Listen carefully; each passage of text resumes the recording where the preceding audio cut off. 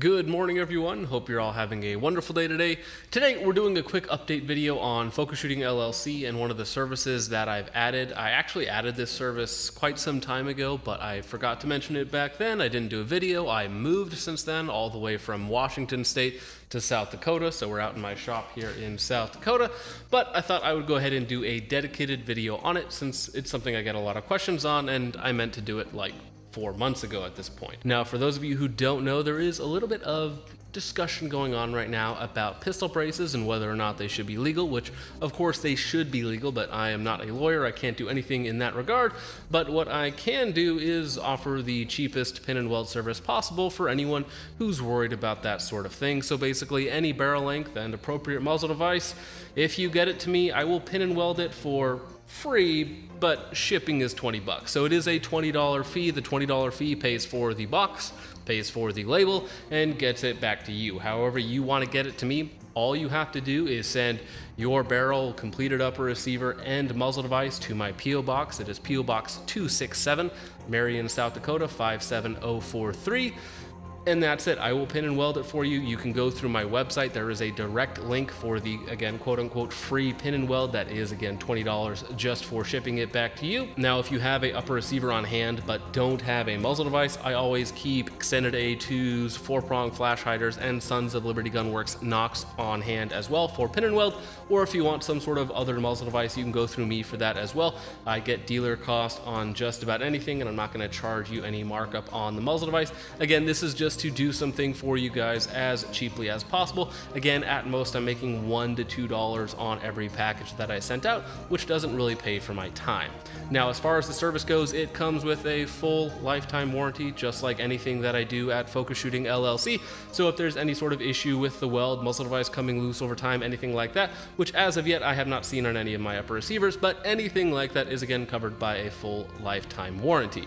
Now, free pin and weld, I am by no means a welder by trade. Uh, it's something that I picked up and done several hundred times now, so I am better at it now than I used to be. In the beginning, I would say I was quite terrible, but as of now, I am passable. So, the cheapest pin and weld on the market is not the best pin and weld on the market. If you're somebody who is completely caught up in looks and aesthetics and wants it to look as tiny, pretty as possible, you should go to a professional welder, not somebody offering to do it for $20 online like me. Now with that out of the way, doing a quick update on inventory, I have some 14 and a half inch 308 upper receivers in stock, courtesy of Ballistic Advantage, 14 and a half inch Ballistic Advantage barrel, Atlas R1 rail is the 12.7 7 inch nickel boron BCG, and it also comes with the RCA adjustable gas key on there, so it is completely tunable and can be a very soft shooting upper receiver. Comes stock with a extended A2 flash hider for pin and weld, or again, any other sort of muzzle device that you want. Now, on top of that, new for us, we also have 11.5 7.62 by 39.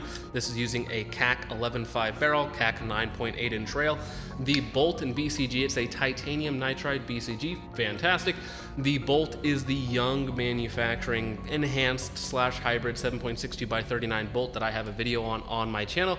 It is a very, very high quality bolt that is machined differently than all the other 7.62 by 39 bolts on the market, so it's going to be the most reliable in an AR-15 platform. On top of that, these are also tunable as well via the RCA adjustable gas key. Now, on top of that, I get a lot of questions about 7.62 by 39 magazines and which ones are the most reliable in an AR for 7.62 by 39. So each upper receiver that I sell comes with the two magazines that I test with each 7.62 by 39 upper receiver. So you will get a verified working combo from me again if you buy 11 or if you buy the 7.62 by 39. And last up for new upper receivers that we have on hand, at least I think so, this is actually a 16 inch 6 millimeter arc upper receiver. Now this is based off of the Ballistic Advantage Premium Black, which is a, this is the 16 inch SPR profile barrel that is black nitride 416R stainless steel.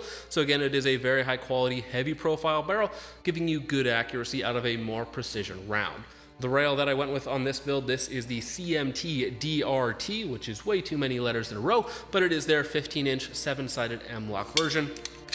Charging handle is the Breek Warhammer Ambidextrous, and the uh, bolt carrier group is a titanium nitride from Premier Armory. And of course, on top of the new upper receivers, we also have most of the old ones back in stock as well. So if you're interested in anything, go ahead and check out the website. That is, of course, Focus Shooting LLC. And with all that out of the way, guys, I hope you enjoyed this quick update video. Let me know what you think of the new upper receivers and the free pin and weld comments, questions, anything like that. Go ahead and put those down below.